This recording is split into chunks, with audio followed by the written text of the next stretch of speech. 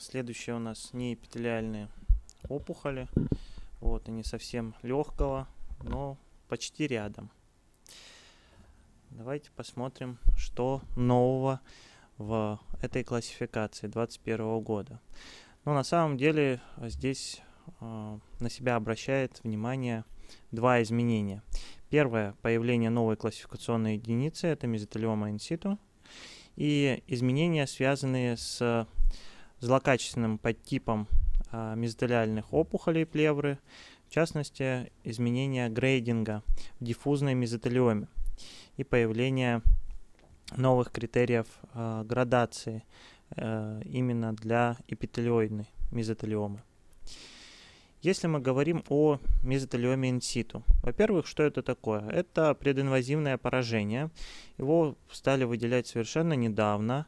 И э, первое, наверное, с чем сталкивается патолог в своей диагностической практике, это э, попытка дифференциальной диагностики между реактивной гиперплазией и вот этим новым новой классификационной единицы. Это непросто, и на самом деле с точки зрения авторов классификации и патологов, которые принимали участие в составлении э, и научных статьях написании, скажем так, э, главный критерий это не морфологический, а все-таки ориентир на иммуногистохимическую диагностику.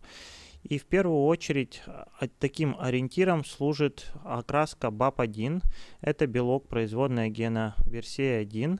Вот, потеря этого белка, именно ядерная потеря э, окраски на иммуногистохимическом исследовании позволяет нам э, заключить, что данное э, прединвазивное поражение является мезотелиома инситу.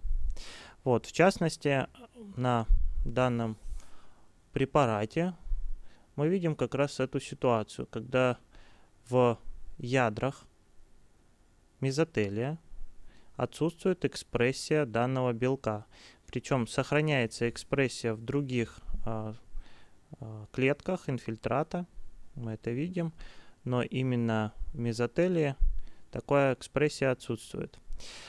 Кроме того, дополнением к данному диагнозу необходимо выполнить еще исследование э, на отсутствие, точнее на наличие мутации гомозиготной делеции в гене CDKN2A а, или по-другому э, гене, который кодирует белок P16. Э, но самое интересное, что мы не можем использовать иммуногистохимическое исследование э, на этот белок P16, потому что он не полностью отражает э, именно генетическую мутацию, связанную с этой гомозиготной делецией. То есть это не достоверный маркер. Поэтому либо фиш исследования на эту делецию, либо исследование BAP1.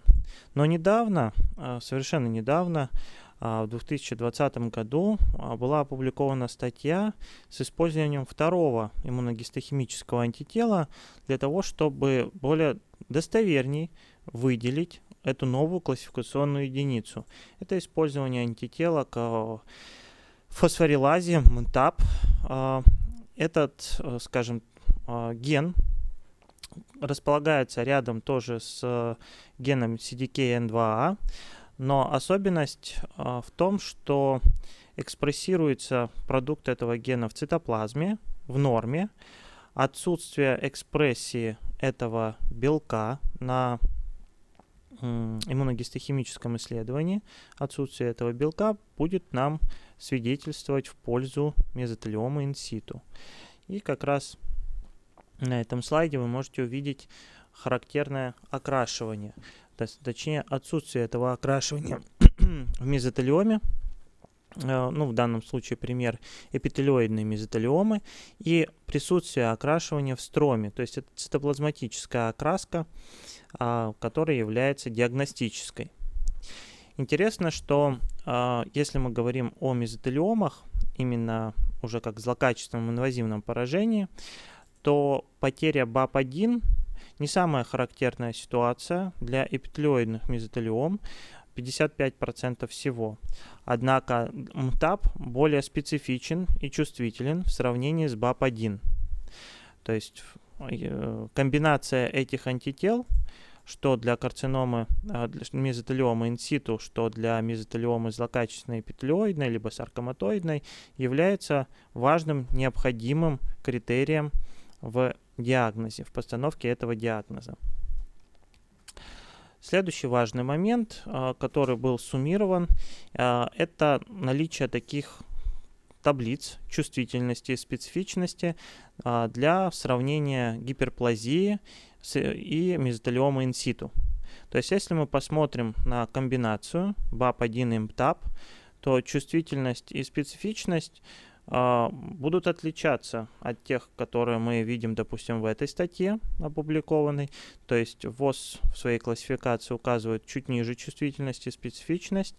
Вот, а, точнее, чувствительность ниже, специфичность они ставят почти 100%, что для одного, что для другого по сравнению с реактивной гиперплазией. То есть, под, подводя такой итог, отсутствие БАП1 в, э, в ядре, либо отсутствие МТАП цитоплазме будет свидетельствовать в пользу мезотелиома инситу против гиперплазии. А, касательно классификаций злокачественной мезотелиомы. Диффузная мезотелиома продолжает разделяться на подтипы, такие же, как и было в предыдущей классификации. То есть это эпителиоидный подтип, саркоматоидный подтип и бифазный подтипы. А, однако а, выделяют дополнительные критерии. В частности, в эпителиоидном подтипе были выделены а, компоненты, которые мы называем архитектурой роста. То есть э, стандартно, самый часто это солидный паттерн роста. Однако существуют и другие варианты, тубулопапиллярные, трабекулярные, железистые, микропапиллярные, которые могут имитировать в том числе и немелкоклеточные карциномы легкого, в том числе на малых биоптатах. Поэтому важно помнить о и клиническом анамнезе, и о данных лучевых методов исследования. Кроме того, Каждый из этих паттернов обладает своей прогностической значимостью.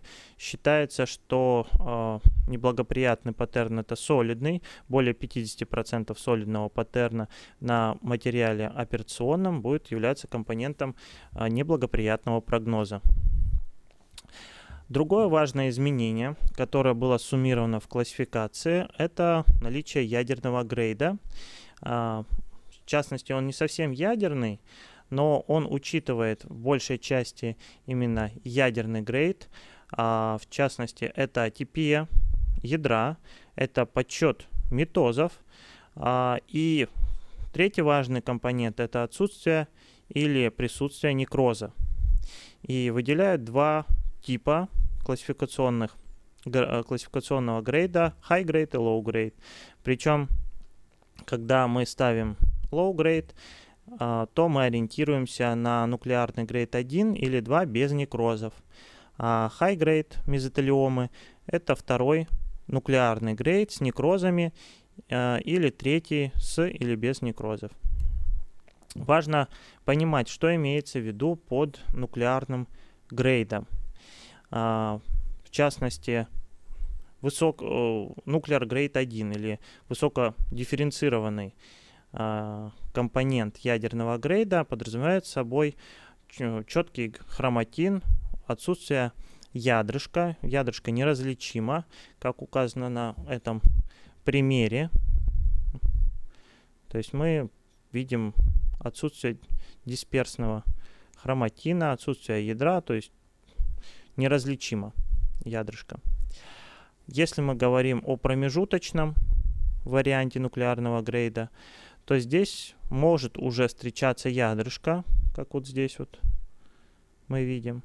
И в сравнении, опять же, с самым неблагоприятным типом грейда третьим, ядрышко присутствует везде. То есть это обязательный компонент. В том числе и еще учитывается компонент ядерно-плазматического соотношения. Он будет низкий в nuclear grade 3 и средний Nuclear Grade 2. То есть, скажем так, ориентируемся на промежуточные значения, точнее не ориентируемся на промежуточные значения, а на крайние значения 1 и 3. То, что не попадает в крайние значения, будет относиться к промежуточному. А, более того, а, этот грейд показал довольно-таки хороший уровень воспроизводимости для патологов. То есть он по уровню капа считается 0,8. Это хороший, или как описывают авторы классификации, крайне высокий уровень воспроизводимости. И до 2021 года он не рекомендовался, однако с учетом этих критериев, которые я перечислил, теперь считается обязательным компонентом заключения. Для саркоматоидной мезотелиомы э, осталось такое же разделение, как э, 10%, э, точнее, осталось разделение на подтипы десмопластической мезотелиомы и саркоматоидной мезотелиомы, то есть десмопластическая мезотелиома это подтип саркоматоидной мезотелиомы. А важно э, отметить то, что прогноз эпителиоидной мезотелиомы и саркоматоидной мезотелиомы крайне разный. Скажем так, э, 4 против 19 месяцев медианы общей выживаемости для саркоматоидной мезотелиомы это 4 месяца, для эпителиоидной, соответственно, 19. Поэтому очень важно выделять, разделять эти подтипы. Изменений здесь э, не было в, этом, в этой группе мезотелиом, а, однако э, важно отметить, что в эпителиоидных мезотелиомах есть компоненты, э, варианты, скажем так, цитологического строения, которые приближают эпителиоидные мезотелиомы к саркоматоидным мезотелиомам по прогнозу.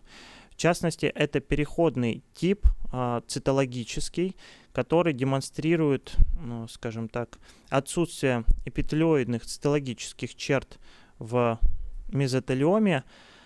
Э, и э, это довольно-таки крайне низкий, скажем даже так, параметр воспроизводимости между патологами, но тем не менее, если его выделяют, и на консенсусе патологи приходят к выделению этого подтипа эпителиоидной мезотелиомы переходного по цитологическим по цитологическому строению, то он приближает этот вариант к саркоматоидной мезотелиоме по прогнозу. А другой вариант это бифазный подтип. А, здесь также не было изменений, однако важно сказать, что солидный вариант, а, точнее саркоматоидный вариант строения более 50% считается крайне неблагоприятным. То есть именно компонент на образце резекции более 50% саркоматоидного компонента неблагоприятный вариант. И важно вообще отражать любое содержание саркоматоидного компонента в образце резекции либо биопсии, но считается, что мы можем поставить данный диагноз только при компонентах э, одном и другом более 10%.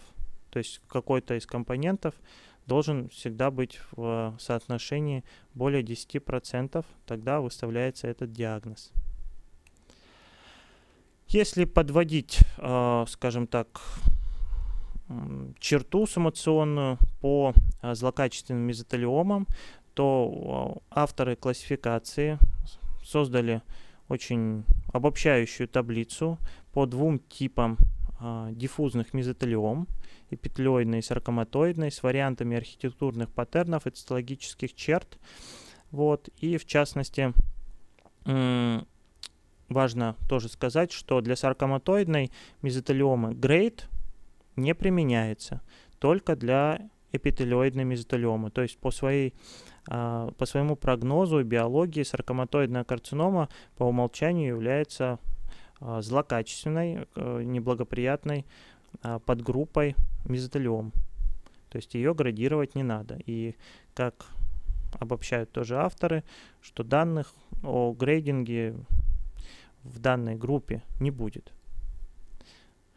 Далее. А, по поводу биоптатов. использования материала биоптатов для диагностики мезотелиом. Авторы классификации тоже делают акцент на такой, а, скажем так, workup или подход к диагностике, где сообщают, что использование биоптатов не является, скажем, предпочтительным, потому что качество и количество материала, как говорили мои коллеги, крайне варьируется. Однако с использованием двух этих антител, которые мы ранее обсуждали, возможно провести э, дифференциальную диагностику, как минимум для гиперплазии. И они предлагают использовать BAP1 или FISH CDKN2 или иммуногистохимию МТАП для того, чтобы отличать мезотелиому злокачественную, мезотелиому инситу против атипической мезотелиальной пролиферации гиперплазии. То есть выполнение иммуногистохимического тестирования с БАП-1 на биоптате предполагает сразу отсутствие именно экспрессии ядерной, предполагает а, наличие злокачественной мезотелиомы.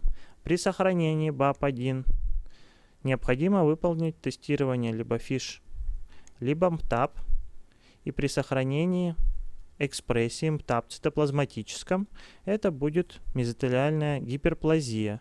В том числе авторы делают акцент, что похожая ситуация и характерна для мезотелиома брюшины. Если мы говорим о злокачественной мезотелиоме, то потеря должна быть цитоплазматической экспрессией МТАП либо ФИШ P16. На этом мы, а, пожалуй, остановимся. Это основные изменения, которые были связаны с э, этой группой образований плевры, именно мезотелиома инситу и введение грейдинга.